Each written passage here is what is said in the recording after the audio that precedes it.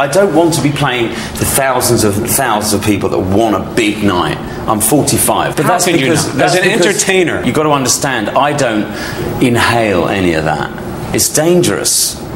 I don't inhale any of that.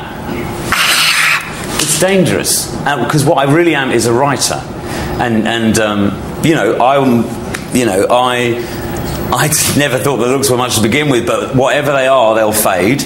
You know, my, my brain will go. Eventually, it's all gone, but the songs are still there. You know, so none of this, even though I, I, I think the most important thing I do, even though they have one fantastic night at a concert, you give people music for years and years when you write.